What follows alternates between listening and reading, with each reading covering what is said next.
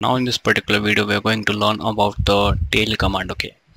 So similarly just like a head command tail is also one command. In but in this we uh, like uh, expect output uh, from the downside or you can say the we try to get the output from the bottom of the txt file or uh, any file uh, uh like uh, from which we want to like extract some kind of data. Like suppose you want to extract data from a log file.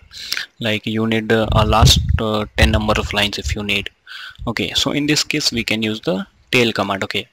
So uh, the basic uh, uses like uh, you can try to learn about like how you can read the log file using tail command and all these things. So these are the basic uses of this so uh, I have already two files uh, states.txt and capital.txt okay? So let me show you these two files. So this is the content of states.txt and this is the content of capital.txt okay? So on these two files we are going to use the tail command okay? So I will use first tail command on the states.txt so what it will do let's check. So it will just print the last 10 lines okay so here you can see it is just printing the last 10 lines. You can like get the 1 2 3 4 5 6 7 8 9 and 10 okay. So using just simple tail and the file name what you will get? You will get the by default last 10 lines. But suppose if you want to more more lines. Suppose if you if you want 15 lines. So how you can do it? So nothing. You just have to use hyphen n option and provide the number of lines which you want. So I just want 15 so here I got the last 15 lines. Okay. So you can use hyphen n option to get the last uh, number of lines. And similarly uh, there is an option of hyphen c option like which will provide you the like uh, what you can say. Last number of specific bytes if you want. Suppose if I want uh, 13 bytes I will use just hyphen c and 13 so you can see I'm getting just West Bengal let me try higher number.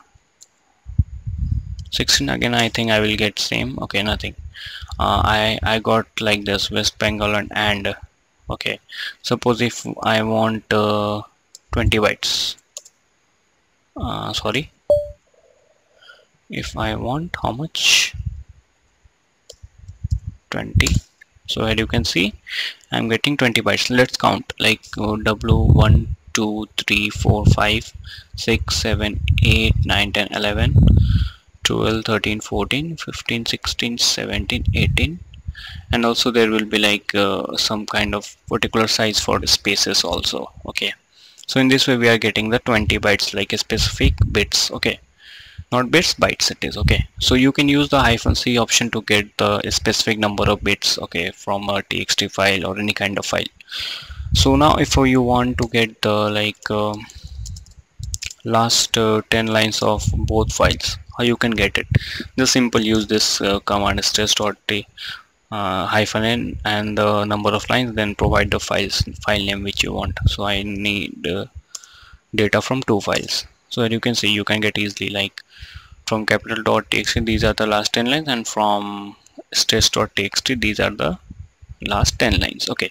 So apart from this uh, there is also a like a very interesting thing uh, in which you will learn in this particular video. That is a monitoring any uh, like uh, any txt file. Suppose there is a log system or something like that and if you want to monitor it so how you can do it? You you can use it just by applying tail command. By which option you can use? By using hyphen f okay. So let's do it tail hyphen f states.txt okay. So uh, first let me show you the content of states.txt so that will be clear to you. So you can see at the end we have only West Bengal. Okay. So now I will use tail hyphen f states.txt and here you can see like it has printed the last 10 lines and it is my monitoring this file.